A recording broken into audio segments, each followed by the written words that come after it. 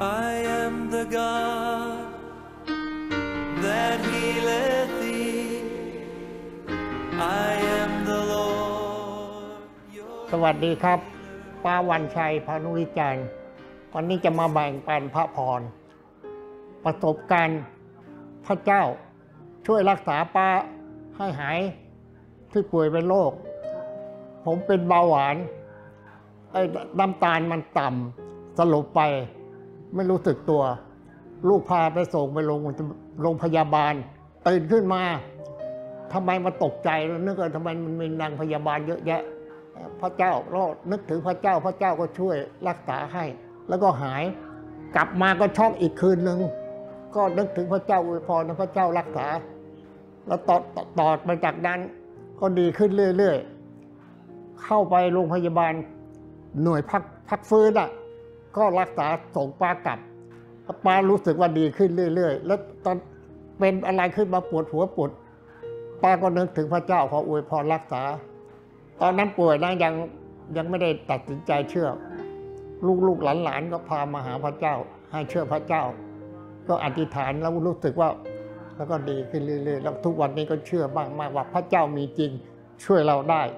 ให้เราอยู่ใกล้พระบิดาเรียกว่าพระบิดา รู้สึกรักษาเราให้หายได้ทุกๆโรคอาการช็อกนี่น้ำตาลต่ำและอาการช็อกจะไม่มีแล้ว ถ้าน้ำตาลตอนนั้นก็ตกต่ำเหลือ 60 50 มันจะช็อกแล้ว เดี๋ยวนี้เหลือ 10 ก็ยังไม่ช็อก แล้วไม่ได้กินยาด้วย แต่อาหารการกินนะ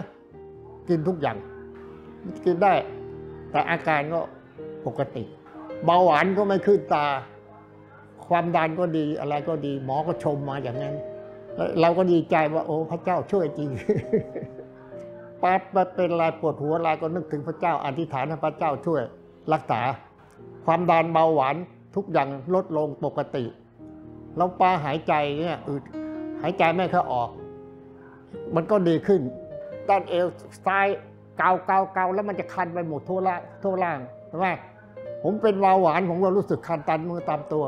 ผมก็อธิษฐานให้เลือดลมมันเดินคล่องเดินดี อธิษฐานถึงพระเจ้าให้พระเจ้าช่วย พระเจ้าก็ช่วยเราตั้งแต่บัดนั้นเราก็เชื่อพระเจ้า พระเจ้ามีจริงรักษาเราได้ มีวันหนึ่งที่บ้านมันลื่น แล้วเขาถูพื้นแล้วเขาไม่ได้ไม่ได้เช็ดออกป้าก็เดินไปก็หกล้มดีว่ามันที่มันแค่ไปเกาะตู้เย็นได้นะ แล้วฝาตู้เย็นติเท้าซ้ายพอของป้าเนี่ยไปถูกไอ้พื้นอะเล็บออกมาทั้งข้างเลย ออกมาทั้งข้างเลยตอนนี้มันก็ห้อยตองแต่งตองแต่งป้าจะดึงมันก็เจ็บป้าก็เลยการกายตัด แล้วก็กลัวว่าเราเป็นเบาหวาน เราก็กลัวมันจะอันตรายมันจะเป็นแผลเป็นเน่าอะไรป่วยใช่ไหมเราก็อธิษฐานว่าให้พระพระเจ้าเยซูคริสต์เนี่ยช่วยเราอธิษฐานไม่ให้บวมไม่ให้เจ็บปวดไม่ให้ถูกน้ำไม่ให้เป็นไรแล้วก็เป็นอย่างนั้นจริงๆโดยแห้งแห้งแห้งแล้วอาบน้ำนะเราระวังยังไง มันก็ไม่พ้นพื้นลาดไปรับมันก็เข้าขาไป มันก็ไม่เน่าไม่บวมไม่อะไรไม่อักเสบตอนเล็บเท้าเตะเอา ฟุตบาทให้มันออกมาเล็บเท้ากระเด็นออกมา ไม่กระเด็นอะติดออกมามันมันหลุด มันคือคือติดหนังไว้จะป้าจะดึงก็กลัวมันเจ็บ ป้าเลยเอาการไกลตัด แล้วก็อธิษฐานเรายาเหลืองใส่ยาเหลืองใส่แล้วก็อธิษฐานไม่ให้อักเสบแล้วก็ให้แห้งให้อะไร แล้วก็จริงอย่างที่ว่าพระเยซูคริสต์เจ้าท่านรักษาให้ แล้วก็แห้งไม่อักเสบแล้วก็แห้งเลยตั้งแต่ทุกวันนั้น ถูกน้ำแล้วก็ไม่เป็นไร เลือดไม่ไหลด้วย ปกติคนที่เป็นเบาหวานแล้วแผลมันจะเลื้อรังไม่หาย มันจะมันจะอักเสบมันจะเน่าบวมแล้วมันจะเล็บเท้าเท้าอะไรนี่มันจะเจาะลึกเข้าไปถึงกระดูกเลย ครั้งนั้นตอนนั้นป้ายังไม่ได้เชื่อพระเจ้าไม่ได้เข้าหาพระเจ้า ไปลงรถเมย์เข้าก็ข้าไปถูกกับบันไดรถเมย์มันขูดมันเป็นแผล แล้วมันก็เป็นเลื้อรังเอายาทาเท่าไหร่มันก็ไม่หายไม่หายตอนหลังต้องไปเข้าโรงพยาบาลรักษา